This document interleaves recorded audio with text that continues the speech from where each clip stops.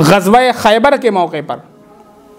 अल्लाह के नबी सल्लल्लाहु अलैहि वसल्लम और सहाब कराम वहाँ जा रहे थे लड़ाई के लिए, मुकाबले के लिए। एक चरवाहा था, बकरियाँ चरा रहा था। सहाबा का काफिला ठहरा हुआ था। वो आया, पूछा कि क्या बात है? कहा कि ये अल्लाह के नबी सल्लल्लाहु अलैहि वसल्लम का काफिला है और उनका लश्कर है। कहा, कहाँ हैं? तुम्हारे नबी हम मुलाकात करना चाहते हैं। वो यहूदी था।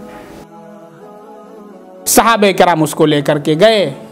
एक खेमा लगा हुआ था, चटाई बिछी हुई थी। अल्लाह के नबी सल्लल्लाहु अलैहि वसल्लम उस पर बैठे हुए थे। उसने कहा कि यही तुम्हारे बादशाह हैं। कहा ये हमारे बादशाह हैं। अच्छा चटाई पर बैठे हुए। फिर वो बैठा। और बैठने के बाद उसने बहुत से सवालात किए। अल्लाह के नबी सल्लल्लाहु अलैहि वसल्लम ने उनके जवाब दिए और मुतासर हुआ। उसने कहा, अगर मैं ईमान ले आऊँ, अल्लाह के नबी ने इस्लाम की दावत पेश की। उसने कहा, अगर मैं इस्लाम ले आऊँ तो मुझे क्या मिलेगा? आप सल्लल्लाहु अलैहि वसल्लम ने फरमाया, मैं तेरे लिए जन्नत का वादा करता हूँ। और अल्लाह रब्बुल इज़्ज़त तेरी जो बदसूरती है अल्लाह रब्बुल इज़्ज़त उसे खूबसूरती में तब्दील फरमा देगा। और जो तेरे जिस्म से बदबू आ रही है, अल्लाह उसे खुशबू में तब्दील फरमा देगा। और हम तुम्हारे भाई बन जाएँगे और तुमसे गले मिलेंगे। वो कहा कि अल्लाह के नबी मेरे जिस्म से तो बदबू आ रही है, आप मुझे गले लगाएँगे? अल्लाह के नबी ने कहा हाँ। उसने कहा, ठीक।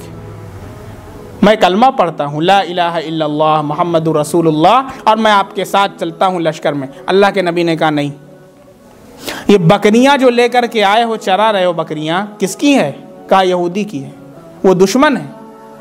आप सल्लल्लाहु अलैहि वसल्लम ने कहा, पहले जाओ उसके पास, और सारी बकरियाँ उसके सुपुर्द करो।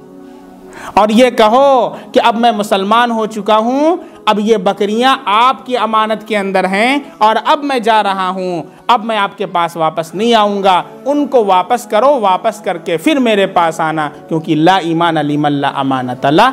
ईमान नहीं है उसका, जिसके पास अमानतदारी नहीं। चुनाचे वो चरवाहा वापस गया। अपने मालिक से मिला और उसको सारी बकरियाँ वो सुपुर्द कर दिया। और सुपुर्द करने के बाद कहा कि मैं मुसलमान हो चुका हूँ, अब मैं अल्लाह के नबी अलैहि वसल्लम की लश्कर के साथ शामिल हो चुका हूँ। आप सल्लल्लाहु अलैहि वसल्लम के लश्कर में शामिल हुआ और जिहाद के अंदर शहीद हो गया और हमेशा हमेशा के लिए जन्नत का मुस्तक बन गया। एक मरतबा न नमाज़ पढ़ी, न एक दिन का रोज़ा रखा, न एक दिन की उसने तहजद पढ़ी। कैसे कैसे लोग थे? इसलिए ज़रूरी है कि हम अपने मामलात को भी दुरुस्त करें, अपने अखलाक़ियात को भी दुरुस्त करें, अपने ईमानियात को भी दुरुस्त करें, अपने इबादत को भी दुरुस्त करें, अपने माशरत को भी दुरुस्त करें। इन तमाम शोबों को अपने अंदर लाएँगे तो फिर हमारा ईमान भी कामिल होगा, हमारा इस्लाम भी कामिल होगा, और हम पूरे के पूरे ईमान वाले और इस्लाम वाले होंगे।